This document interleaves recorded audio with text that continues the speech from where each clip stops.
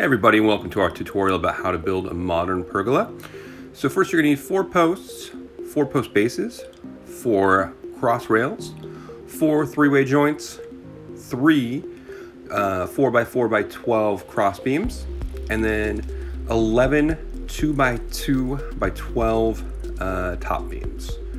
So we're going to start off by taking the three-way joints and putting a dab of glue in them the post rails and cross rails are the same height, so you don't have to worry about getting those mixed up.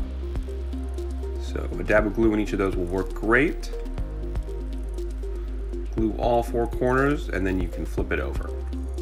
You want to make sure that the smooth side of the joiner pieces is down.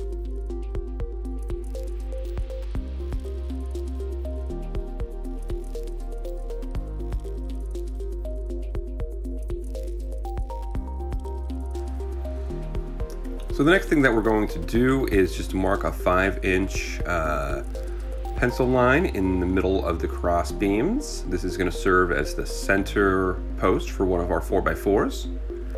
And then the next thing we're going to do is we're going to take our 4x4s and we are going to mark them. So first you're going to make a mark 0.75 inches from each end and then you're going to make a second mark 1.25 inches from each end.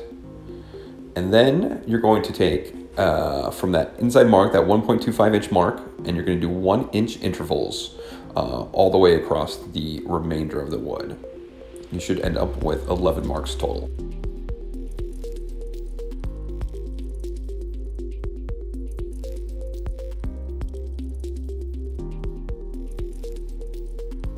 Our cross beams ready. What we're going to go ahead and do is glue them on so we're going to take those four by fours and we're going to line them up.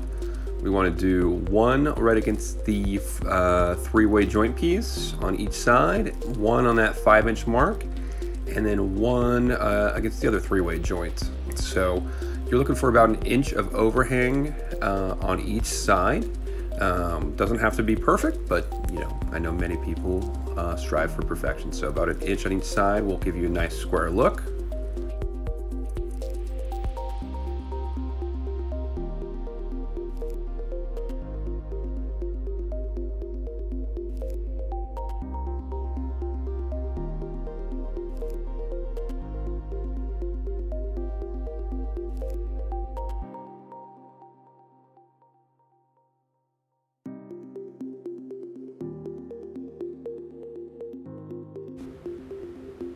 And next we're going to do the top rail pieces. So these are a lot of fun.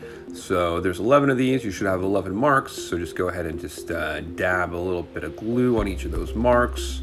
You can do one at a time, just depends uh, on your preference. And then take each one and set it on those marks.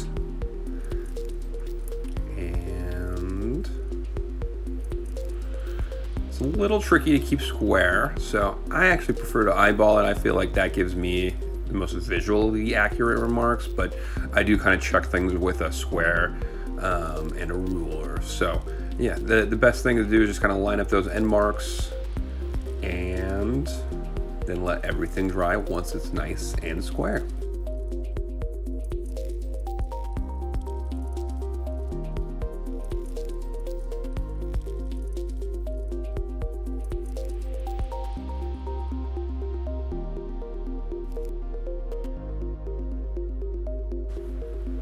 The final step is assembling the vertical posts, and those are super easy. So you can just set those right in. Uh, you can glue or mortar these if you'd like, uh, but there's no need to.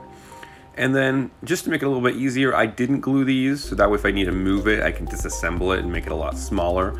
Uh, but if it's going to a permanent place, you could definitely glue the posts in as well. And then you're all done. I hope you guys enjoyed this mini tutorial from Mini Materials. I'm Jared. Hope you have a great day.